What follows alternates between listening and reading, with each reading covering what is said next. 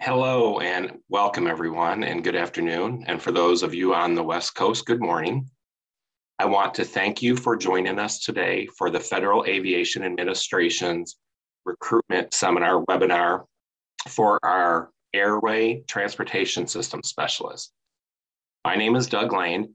I will be your moderator today. I am the Regional HR Director for the Southwest region for the FAA located in Fort Worth, Texas.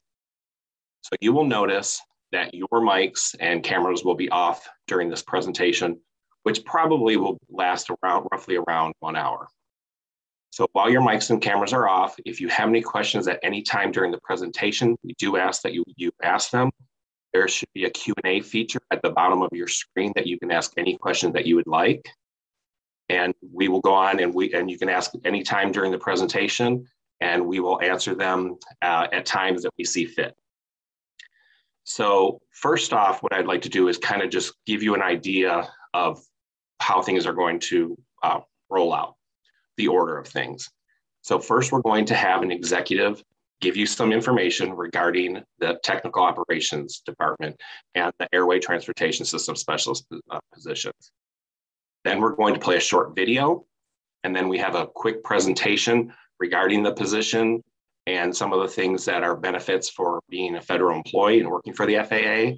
And then we're going to end with discussions with experts in this field so you get a really hands-on experience so you can understand what it's really like to be an airway transportation system specialist.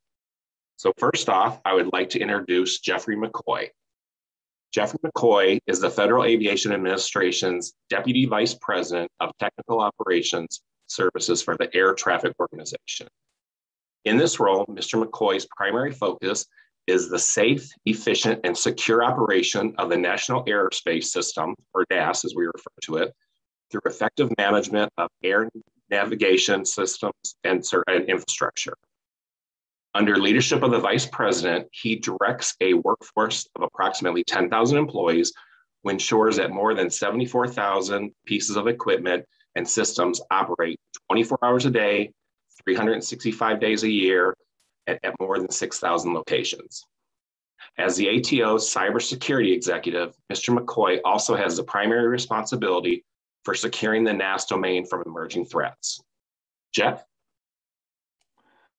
Thank you, Doug. Uh, and and I just want to start by uh, thanking everyone for being here today. You know, over the past two years, because of the pandemic, we've really had to pause our hiring efforts.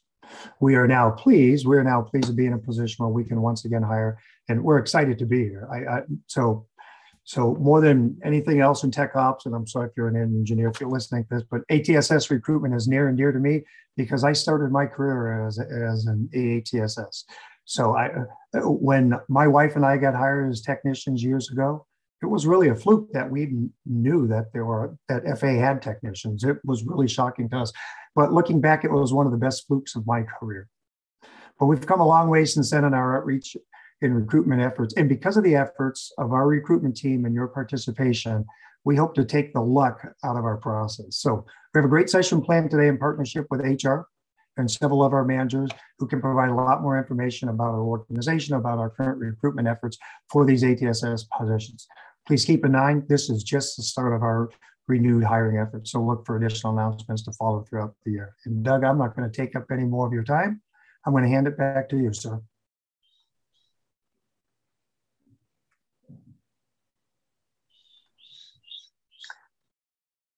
Thank you, Jeff. So right now, what we will do is play a brief video for you.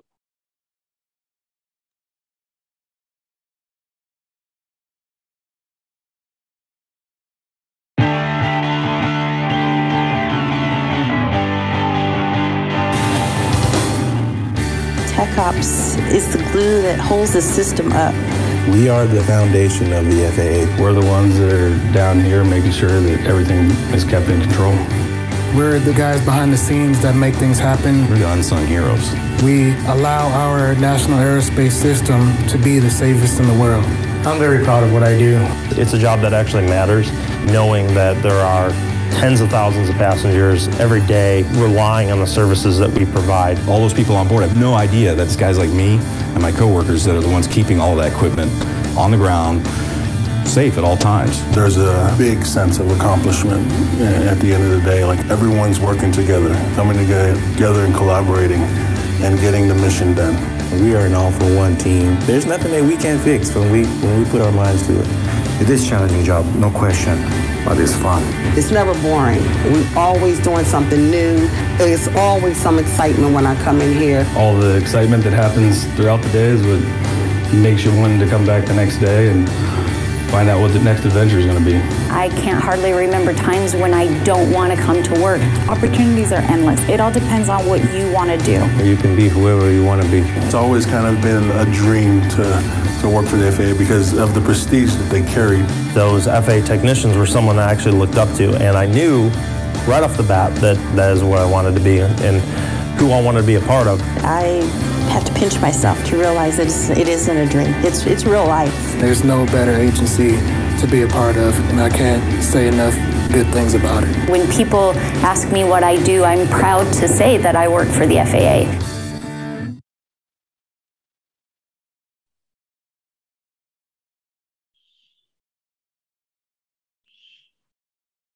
Great, thank you. Now we will do a quick presentation and kind of get into some of the nuts and bolts of the position and, up, and with the FAA.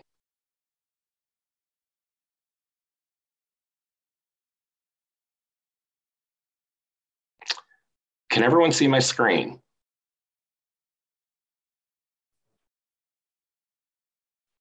Yes. Excellent, thank you so much.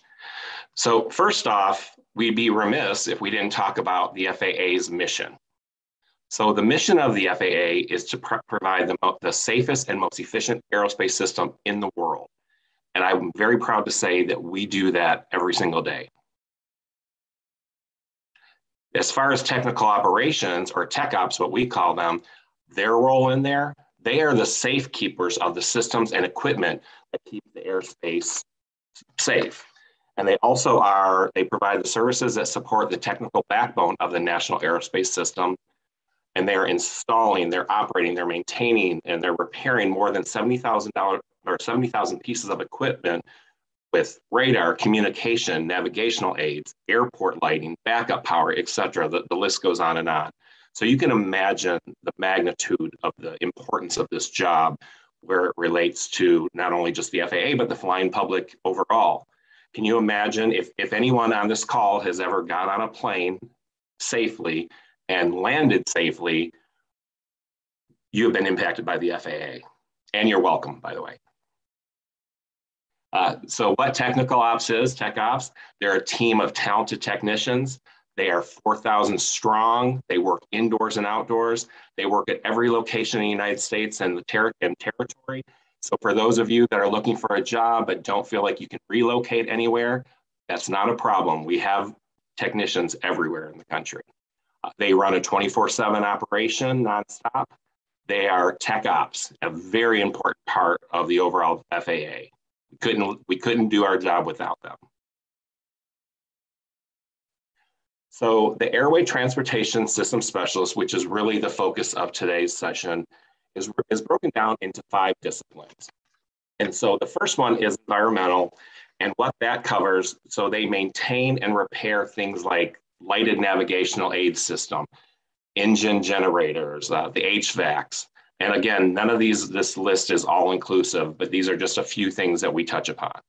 Uh, as far as radar, you're looking at maintaining and repairing airport surveillance radar, air route surveillance radars, air traffic control beacon indicators.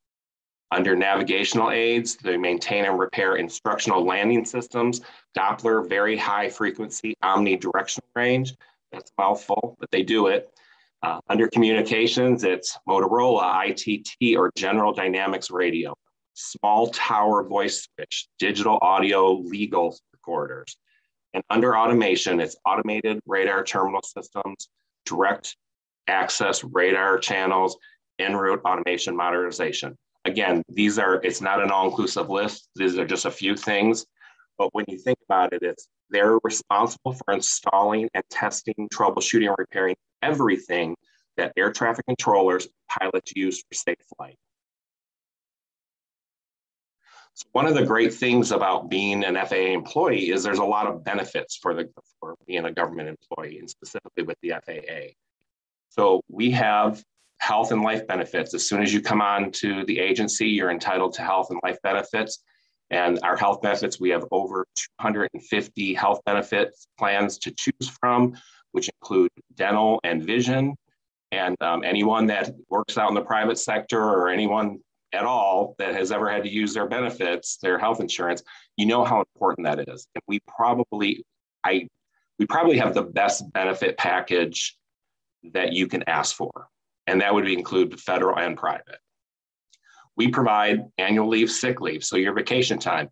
Most in the private sector, you start out usually with two weeks of leave, sometimes three, but we start people out from, from the first time they get on board till they, for their first three years, you have about two and a half weeks of leave. We, we give it to you in hours, but you have about two and a half weeks. And from the third year to the 15 year, that goes up to four weeks. And then 15 years and beyond, that's five weeks.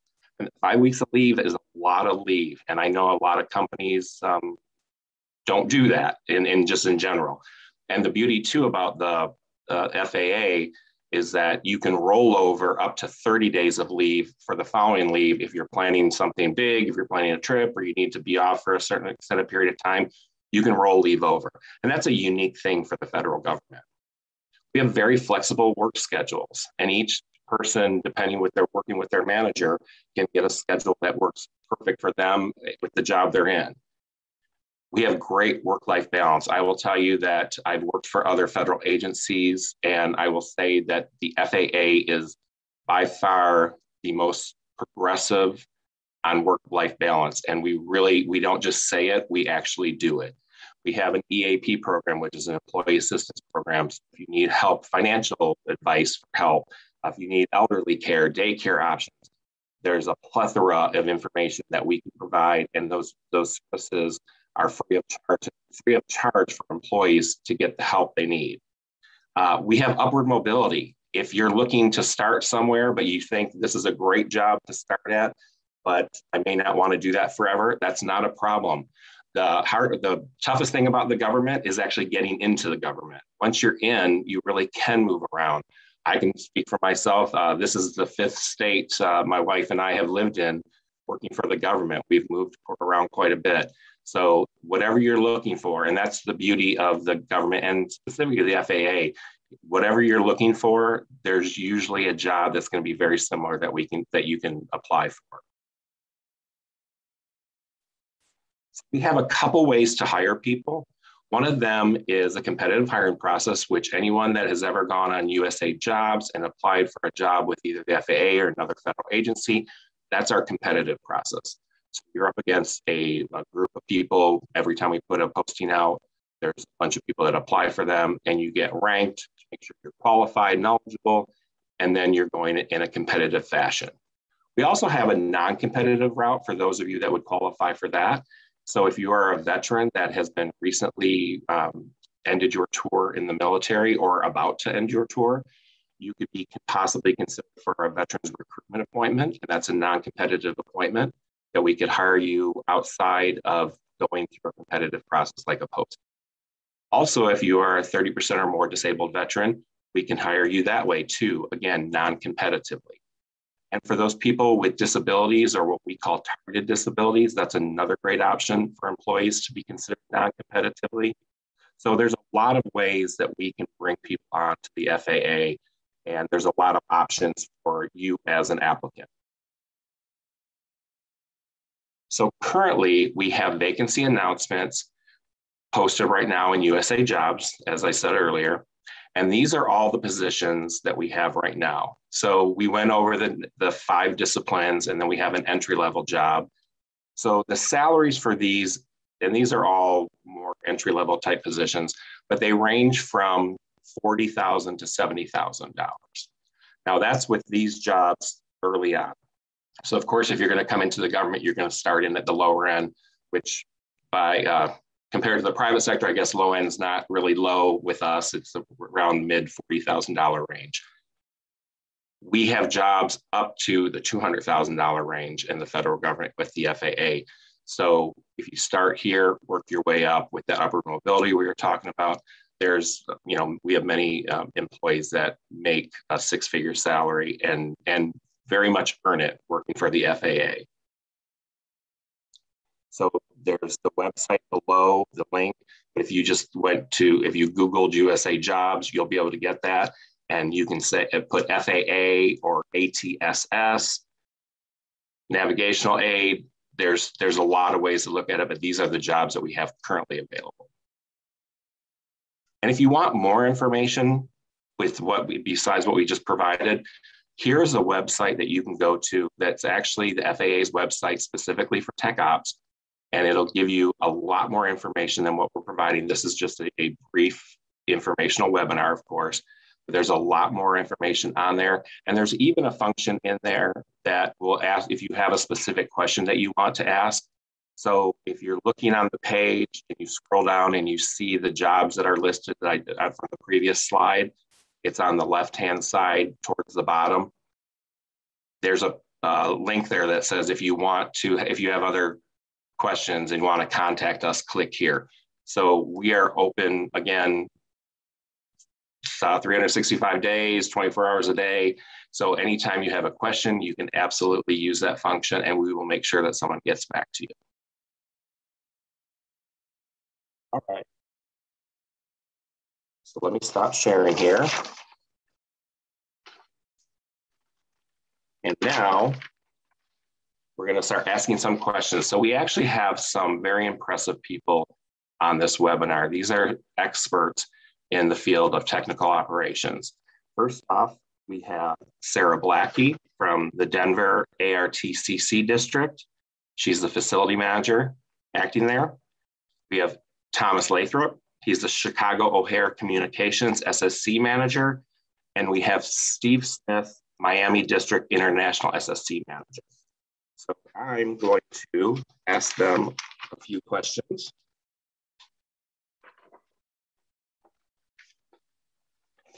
I apologize, I my paper here. So Sarah, let's start with you first.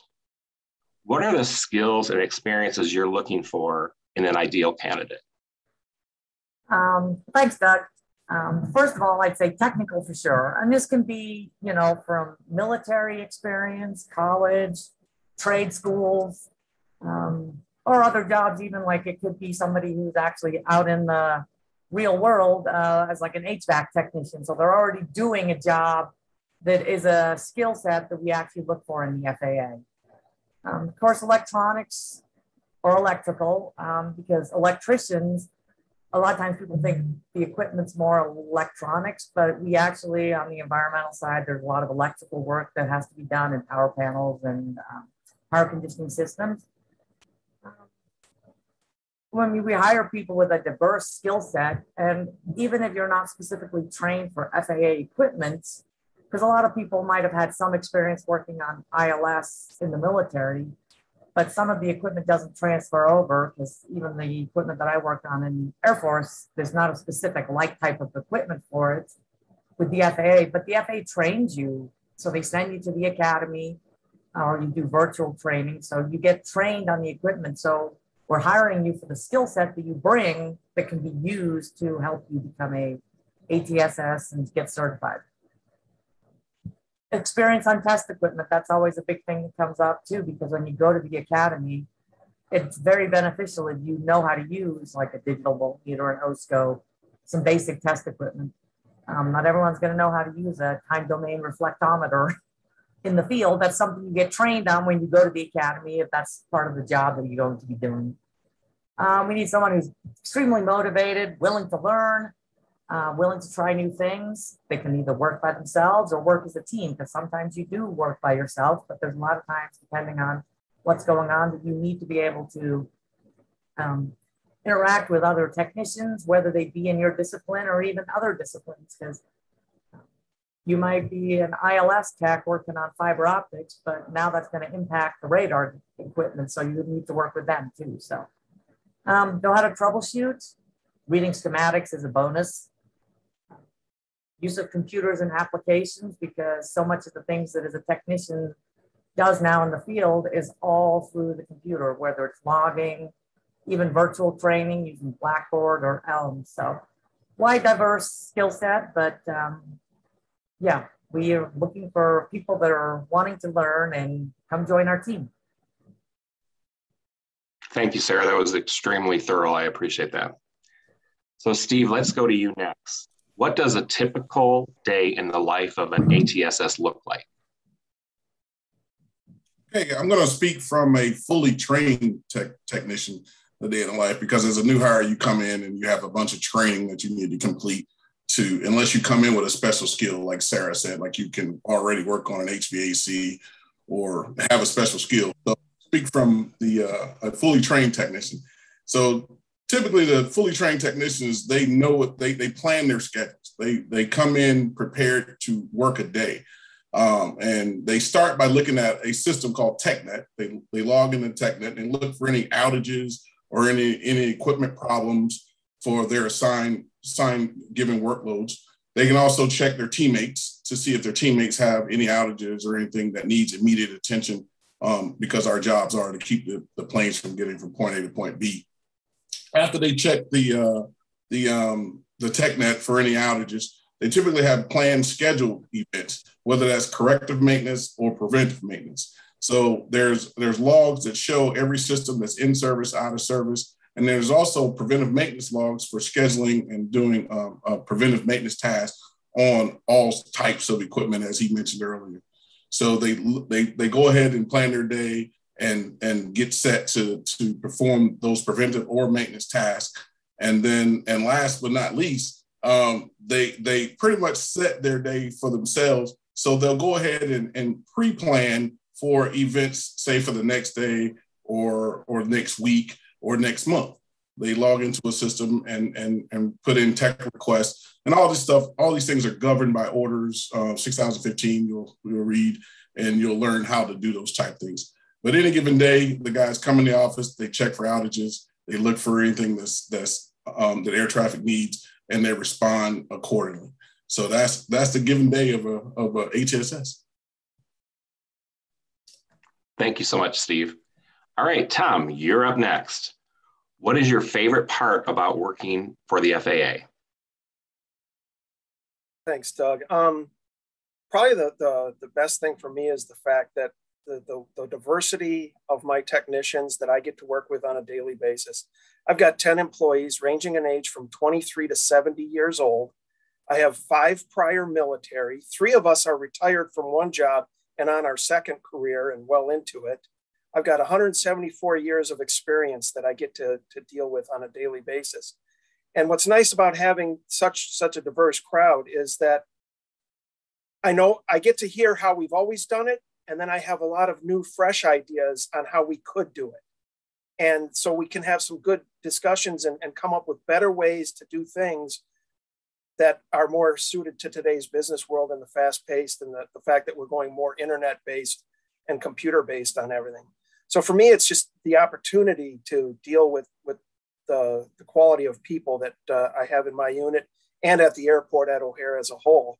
I, I was a technician here first, and so I, I got to know a lot of these folks as a technician, and it's just such a, a fun place to come work. It really is because it appears to me most people enjoy their jobs because we're, we're all walking around with smiles on our faces and, and getting through the day um, at O'Hare, which is like an aircraft carrier. It's either the most peaceful place on the face of the earth or it's total chaos, and you never know which minute it's going to be what.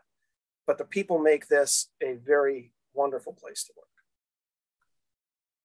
Thank you, Tom. And I and I actually do echo that because I've worked for other federal agencies before, and once I got to the FAA, I'm like, oh, I'm home. This I'm not going anywhere else. This is the place to work. So I, I appreciate that. That's very accurate. All right, Sarah, why did you choose the career path that you're in right now? Um, actually, it's kind of a funny story because I was actually looking to get out of the Air Force after about seven and a half years um, of training, working on equipment, and even teaching. I used to teach at Lowry Air Force Base here in Denver, which doesn't even exist anymore. Um, and it was, I didn't even know that the FAA had technicians. We were just called technicians back then. And we became ATSSs, but because um, all you ever used to hear about was the air traffic controllers. Didn't have social media or anything like that to share that the FAA had jobs for technicians. I mean, it was more just word of mouth. And a Navy chief that I worked with, he actually said, Hey, um, have you applied with the FAA? They actually have technician jobs. And I was like, No. So, as you could say, the, the rest is history. I applied, got hired, and I've been with the FAA for over 30 years now. And just as a side note on that, if you come to work for the FAA, you will find that people stay here. It's a lot of government agencies, people leave, they're not happy because of just how they get treated. If you come into a place, in fact, uh, one of the girls down the hall, she was just telling me, she goes, everybody I talked to has been here at least 10 years, if not 20 or 30 years. So great place to work, obviously. Um, but I love my job as an ATSS. It was always something different. No two days were ever the same. You walked in and you might have a list of things you were going to do that day, and something's broken on the airfield. So off you go and go out and fix it. So it was always a challenge and always something different. You know, I'd Thank, okay. Thank you for that, Sarah. Yes, the, the days go by very quick in the FAA, and I'm sure in the Tech Ops uh, group organization, it's that much quicker than the rest of us because it's, a very demanding job, very fulfilling. And as you can just hear what they're talking about, is you can be in a job that really makes an impact in the uh, airspace. It's a big deal. Tom, let's go back to you. How has your role changed since you've been here?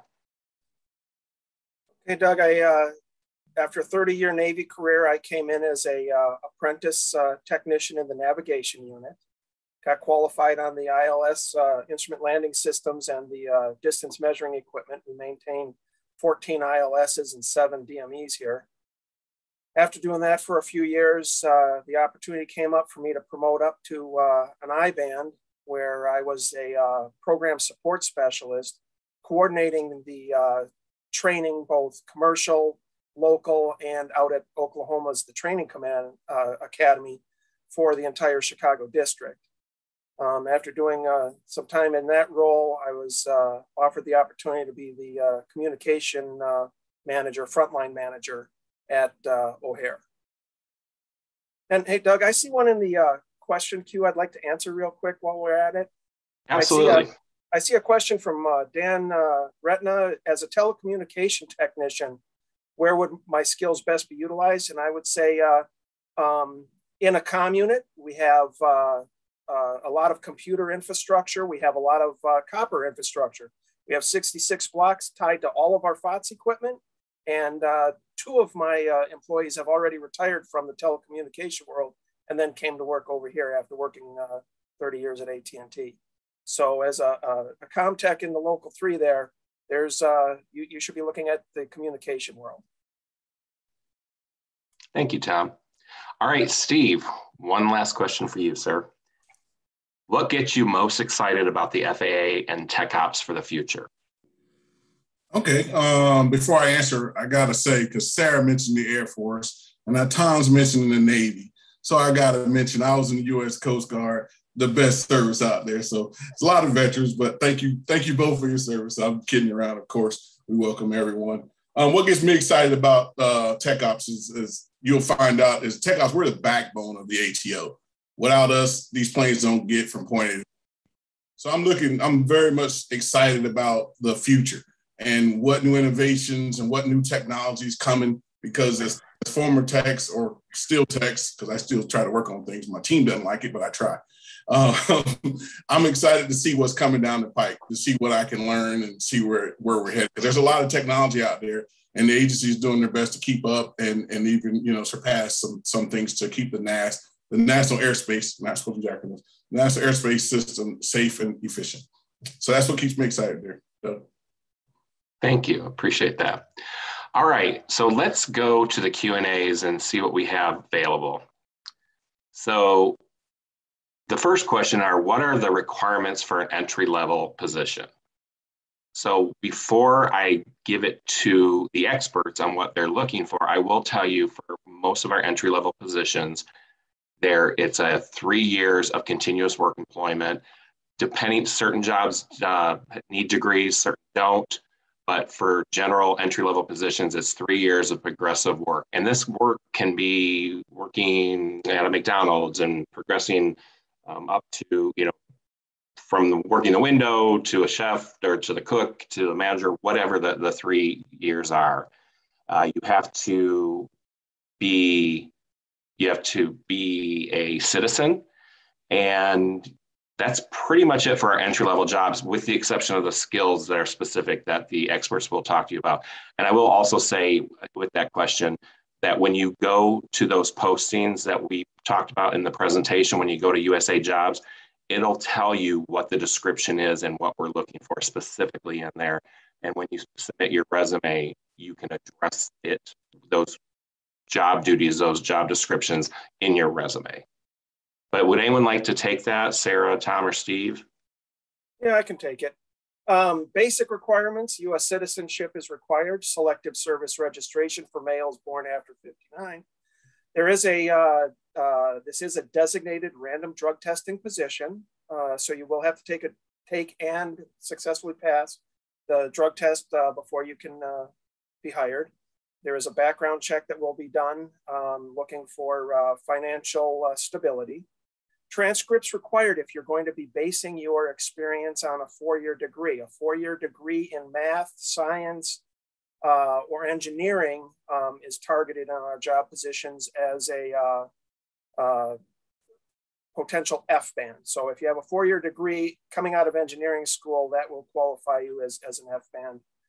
Um, provide proof uh, of any claims of any veteran's preference. So if you're going to go VRA, which is like Doug was saying earlier, 30% disa- compensatable disabled, or if you're uh, recently separated within the last three years, or if at during your time you were in a campaign awarded area, i.e., if you have the um, uh, Global War on Terrorism uh, deployment, not the service medal, but the deployment medal. If you have an Afghanistan medal, an Iraq medal, a Desert Storm medal, those are all deployment medals that will qualify for VRA qualification. Um, and a valid driver's license is also required because we do an awful lot of driving around trying to dodge uh, aircraft. So you have to have a good, clean driving record. And that's the basic requirements, Doug. Excellent. Thank you so much. That was very helpful. All right, the next one. How would the FAA handle a, a full on career change from warehousing?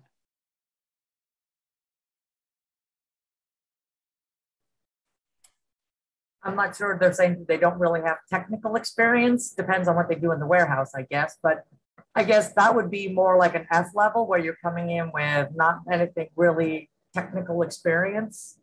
Um, not to, I mean, and we train everybody. So as long as they've got the aptitude, uh, they could apply for the basic F level job. Well, also an answer to that question and another question that we're going to come into on the queue about the supply and the logistics jobs. Um, there are a fair number of supply and lo logistics jobs with the FAA located in Kansas City and Oklahoma, and those will be on a separate job posting when they uh, become available. So you need to watch for the logistics supply uh, jobs on USA Jobs in your search window if that's your specialty. Now, if you're in a warehouse where you're doing a lot of repair and maintenance to the uh, refrigerator units in that warehouse or to the forklift or there's a lot of other mechanical, electromechanical skill sets being utilized, um, then you, you need to really highlight those in your resume. Uh, not just, yeah, I, I work in a warehouse, but I service and maintain the forklift or the other mechanical equipment and outline that and then uh, see if, uh, you know, if it, it meets the qualification standards when you submit. Great, thank you. And we did get a question in from YouTube. Uh, this person recently had a college diploma in avionics and wants to know where to begin. Four year or two year would be my first question. So if it was a two year, where would that go? And then compared to the four year? Well, the, the F band starts at a four year degree. So unless you get three years of experience working on avionics uh, equipment and as a bench tech for one of the many companies that are out there, after you got three years bench experience working with uh, digital voltmeters and oscilloscopes and signal generators and other various equipment, um, you should not have an issue getting in as an ATSS. And with a four-year degree, they could be looking at uh, either the uh, ATSS positions or possibly even something over in the uh, engineering uh, uh, services unit. Excellent, thank you. The next question is, do you accept international specialists? I have undergone an internship in flights operations with an international airline.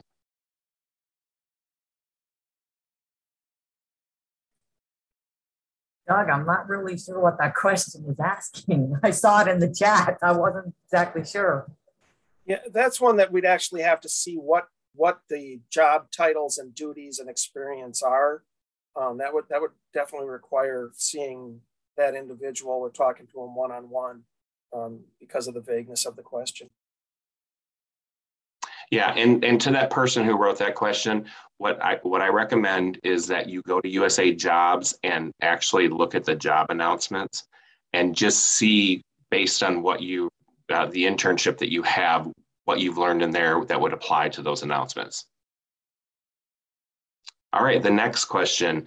Um, I'm very interested in recruiting based on technical aptitude rather than just focusing on actual experience. So how do you look at um, so Sarah, Steve, or Tom, how would you go over that as far as someone with the technical aptitude with not a lot of experience?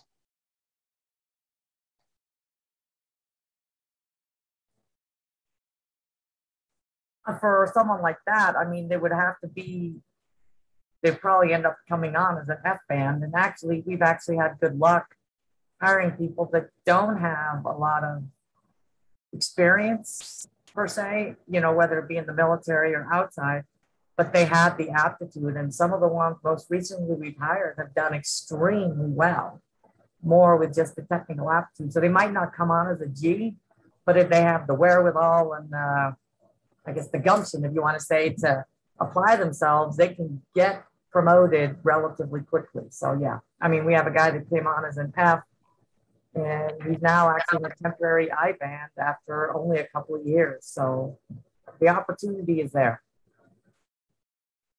And, and, and I'd like to piggyback on that, Doug. I think yeah, absolutely. Um, the, the, the part that most people seem to have troubles with, and I myself had troubles with uh, when I got out of the military and I followed the instructions on writing a resume that they provided at the transition course, I was told by the FAA I wasn't qualified for a single job. Then I called up the point of contact, and uh, half hour later, I was G band certified for every uh, job we had. And that was with a four year degree, two two year degrees, an FCC license, a journeyman card, and a boiler license. But if you don't tell the full story, they, they don't know. There is no size limit to an, an FAA or a federal resume. People get hung up on this one page, but the FAA utilizes the resume to quantify your experience, which is why if you look at the uh, resume builder on USA Jobs, there's also some great OPM resume writing five minute videos on YouTube. And they will tell you to include volunteer work, hobbies, because all of that can be quantified as experience. You know, someone that works on, on, on uh, generators at home on their RV who regularly picks up a voltmeter and uses it, when they come to write a resume, they don't even think to put that on there. But that is practical uh, experience and aptitude that people have that they don't put on the resume because in other worlds, the resume is just a hey, look at me, you really need to interview me. We as selecting officials don't even get to see the candidate if their resume doesn't quantify enough experience to make them qualified to be put on a list. So a lot of that that aptitude, if there's other uh, life experiences to back it up, verifiable life experiences, by all means, put it on the end of your resume, get it on there. Um, I did one uh, hiring panel for someone that had about three years of time that they were away from the FAA, but they were able to identify every skill set that they used as a young new mother in managing a household and when you break it down in business terms, it's a job I couldn't even handle. So make sure when you're writing your resumes that you look at the tools available and get all of your experience properly annotated. Then hand it to someone uh, husband, wife, spouse, friend that doesn't know what this stuff is and say, does this make sense? So that that you you understand because a, a lot of military folks will just put, yeah, I work on a WSC three radio. HR techs may not know what that is. It happens to be a satellite UHF radio. Now, if you put military name, then put what it is in plain English so that everyone knows and what the frequency band is, because that's what's going to get you qualified, is if everyone understands what you're saying. So, for everyone out there, that advice that Tom just gave you is so important. And I'm speaking from the HR side of this is when we have a posting and we get hundreds of applications for these postings, it is imperative that the applicant put as much information as possible. And Tom pointed out some very important things. With USA Jobs, you can certainly update your resume or upload your resume that you currently have, a one page, two page. But if it doesn't tell the whole story, when we're looking at hundreds of applications, there's a good possibility that you would, would not be considered. And it's not that you're not qualified, it's just that we weren't able to qualify you against the other applicants that were in there. So as Tom said, you, uh, OPM of the USA Jobs has a resume builder that I strongly encourage. You don't have to use it, by all means you don't, but they do have training, as Tom pointed out on there. And it's just go through that training and it really addresses everything you need to know in that. So, so thank you for bringing it up, Tom, because I cannot stress how important that is. And, and Doug, there's one other thing. Uh, the uh, National Archives has got a federal resume writing guide that is very good. All of this stuff is available to the general public um, via uh, the internet. Um, and the number one disqualifier for applicants that we have sent in when we were doing VRA hires or off the street is when they forget to put the hours per week. And why that is so important is if you're, let's say, a reservist and you're only working uh, weekends, like one weekend a month, that's very different than being a full time and they're trying to quantify your experience. And in order to do that, they need hours per week. Um, if it's 40 or more, full time is sufficient for qualification. But if you're doing something for 20 hours a week and you got six years worth of it, that's three years worth of verifiable, and that meets the criteria for what they're looking for for the F band. So make sure you yeah. get that hours per week in there. And what I recommend people do is use the USA Jobs format, but do it in Word because then you have a spell checker that works. The format prints better. It's easier to read when you're receiving it, but then you can upload that in one of your uh, uploadable uh, uh, sections on USA Jobs. Thank you for that. And th uh, these are great questions, and we're going to keep answering these questions in the time that we have allotted. So if you think of something after, I just want to remind you going to the FAA's Tech Ops page and asking a question if we don't get to answer it during this session. So I just want to put that out as a reminder. We have one question that says, what is the average time between applying, being selected, and start training at the academy? So we in the FAA, we have an 80-day hiring model. So from the time that it gets posted to the time someone goes on, uh, steps foot in the door, we strive for 80 days. Sometimes we can do it quicker, sometimes we can't do it as quick. It really depends based on the background check, uh, security. A lot of times, if you have, if there's anything in your background, not, and please don't misunderstand me that if you have something in your background, you can't apply. By all means, apply. If there's something in your background, if it's a financial issue, you work with our security office to get it resolved or get it cleared up to their satisfaction. So the 80 days is what we strive for. And again, sometimes it's sooner, sometimes it's it's longer. But that that's what we're striving for. Okay. Can you speak, please speak to how your discipline track is chosen? Doug, I'll take a stab and then see if somebody else wants to answer it. I mean, the way the jobs are done, they're broken out by communication, radar, environmental, you know, so they're split out. So if someone has a specialty that their their skill set um, goes towards, I would recommend them do that. I mean, and you can apply for multiple ones too, because depending on what, if you were in the military, your career, you might fall under navigation and communication. So don't just limit yourself to one if there's multiple disciplines or things that um, your background would lend themselves to. So it's all a matter of what your background is. And if you come in as an F, which is the entry level, um, that might get determined for you depending on the openings at different places across the United States. Um, so the F band, you come in um, not with a specialty, since you didn't apply for a special job for the G band, the and it's going to be more open to what the need is of the um, FAA, I guess, if you want to say it that way. Thank you for that. Will college students have a good chance at being hired? Uh, I will tell you that's absolute yes. And I and as far as groups or organizations within the uh, FAA, TechOps is probably the premier place for young college students uh, fresh out of college. In fact, we in our office, we work at a service area in Fort Worth, Texas. And I always know when Tech Ops is hiring because I'm like, oh, it's bring your kids to work day. We have hundreds of young adults coming into the office at one time. So, yes, this is a, a perfect opportunity for college students.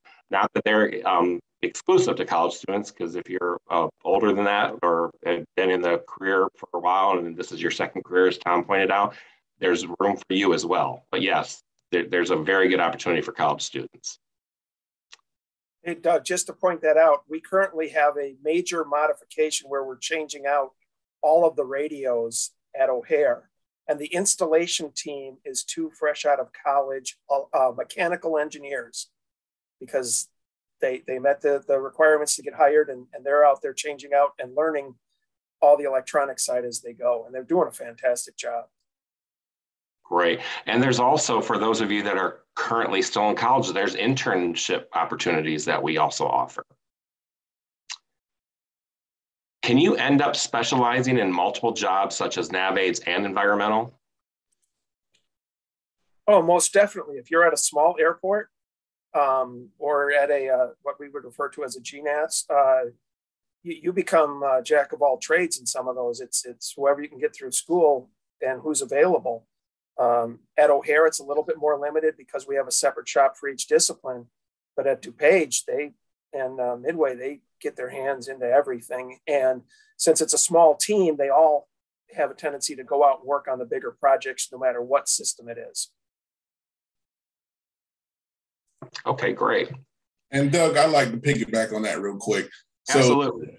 For a team like mine, I, I manage the international SSC. And for those that don't know what that is, it's the, we cover the Caribbean, the Turks and Caicos Islands, and to include Cuba.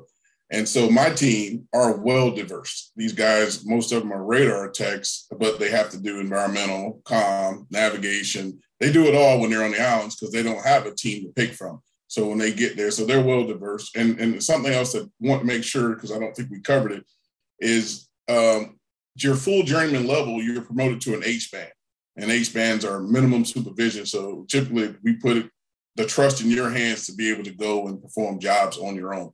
So we're not going to be standing over your shoulder going, "Did you do your preventive maintenance? Did you get there on time?" It's those type of things. Just wanted to put that out there. But yeah, you can end up working in, in multiple disciplines based on where you are assigned or the FAA need. Thank you, Steve. Will my CompTIA certifications be helpful in satisfying any of the TechOps qualifications?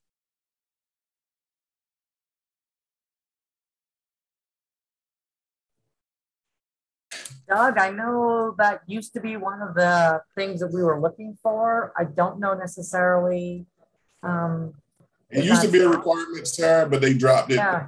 It, yeah. wasn't a requirement for for like the STARS uh, training and ERAM and some of those systems, but they dropped it. But I can tell you, it does help, even though they've limited. Uh, I can remember back in my day, we used to work on our own computers. We used to fix everything. You know, we'd update the RAM, we do everything to our own computers. But now we have an entire IT department. So that may be an area which you want to apply for. You know, the FAA does have that. So well, on top of that, uh, Unix is still a requirement for many other classes. So if you have an aptitude for, for anything in the computer world, uh, a lot of our stuff is automated now. And all of the stuff at O'Hare is connected by a fiber net that is all running through computers. So um, I'm sure it cannot hurt and it might be a tiebreaker. Thank you all for that. Appreciate that. So, retired Air Force vet here and current DoD employee. Could I apply for multiple positions since I have experience in multiple equipment items? Absolutely. There's no limit to the amount of positions you can apply for. You can apply for every posting that we have in the FAA. Obviously, you're going to want to be qualified for them or you're not going to make it any further. But in this, in your question, that if you're qualified for them, by all means, there's no limit to how many positions you can apply for. Just make sure you're applying for the ones that say general public or vet and not the ones that say current FAA employee. I am not in a position to move based on my spouse's career. What is the general geographical area that someone would work in the Northeast, square miles wise? That person, I mean, in the Northeast, there's a lot of SSCs in real close proximity to each other. Um, so, depending on where you got picked up or selected for, um, you might not have that far to drive. It's all a matter of where, which SSCs or which facilities out there have openings because there's ARTCs, there's towers, there's TRACONs, and then there's the SSCs that are fall under the GNAS. So any number of those you could work in and you'd only have like 20 square miles to drive in. It just depends on where you get hired.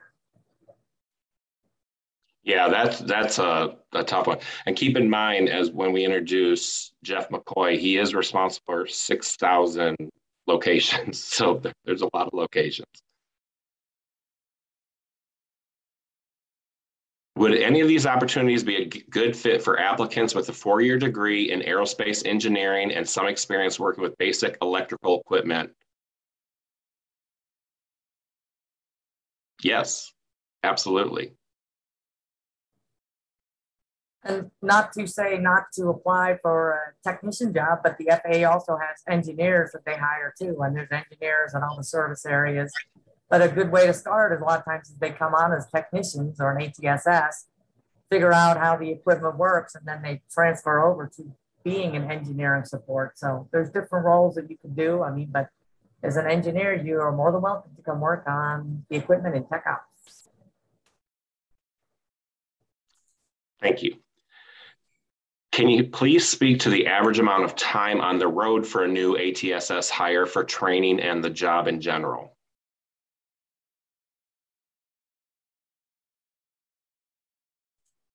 That's going to vary quite a bit based on where they get hired at, what discipline they're hired for, and what the availability of the academy has been. Because for the last two years, it's been very little road time.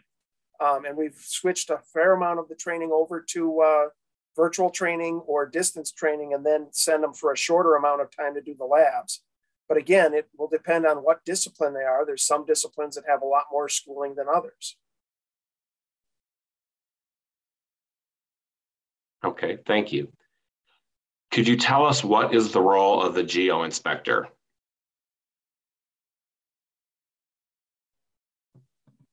I don't know what that is, Doug, so I would say no. Um, let me, uh, yeah, uh, maybe in, well, I don't know. I don't want to uh, assume what. So if that person who wrote that, if they would like to uh, just clarify that in another message, we'd be happy to respond. So I just want to let everyone know that we have seven minutes left. So we're going to keep on answering questions, of course. And if, again, if we can't answer your question, what we'll do in the I don't know where we'll put it, but can we put up the link to the Tech Ops webpage so they can ask a question? If and we will try to get to it, there's only a few left, so we might be able to do it. But if not, if we could put that up for the audience to see, that would be great. Uh, can you share the PowerPoint Q&A with Tech Ops managers? Very useful information. Yes, we will absolutely do that with our Tech Ops managers. Uh, is the FAA a nice place to work? I, I think we can all, I, am only speaking for myself. It, it is truly one of the, it's the best federal agency that I've worked at, and I've worked at a few. And as far as work life balance, the the diversity of the work that we do, the jobs, and our mission. We have one of the most important missions in the world, and it's to keep the flying public safe. And probably, I would say, if not all of you watching, most of you have been on an airplane before. And just, and we as, and I, me as a, a passenger on a plane, take for granted that getting on a plane and landing safely in my location that I'm going to, I just take it for granted. I don't think, I didn't never thought until I worked for the FAA what all goes behind that and the work that's put in there. So I can speak for myself, and I'm sure the other three will echo, but it, it's a phenomenal place to work. I mean, I, I can't think of a better one, to be honest. Would anyone else like to add to that? No, I think you summed it up very well, Doug. Like I said earlier, it's like there's a, somebody new here and they used to work in the government somewhere else and they came to work here and they said they were so surprised at how many people had been here for 10 20 30 years with the faa so yeah uh, that speaks volumes when you hear of a government agency and people have been with the government for so long at a specific agency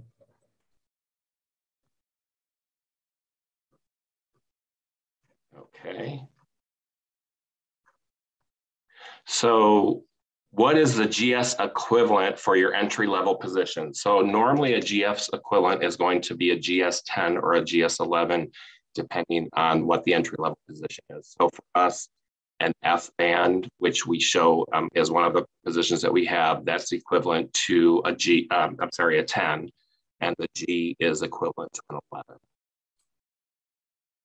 And if they're familiar with the term ladder position, since our goal is to get everyone to H, it, it would be a ladder, a, a 10, 10, 11, 12 ladder position because you're not going to plead. If, if you're not making it as an F, that one year probation will have you, you usually don't stay because the goal is to get everyone to H band.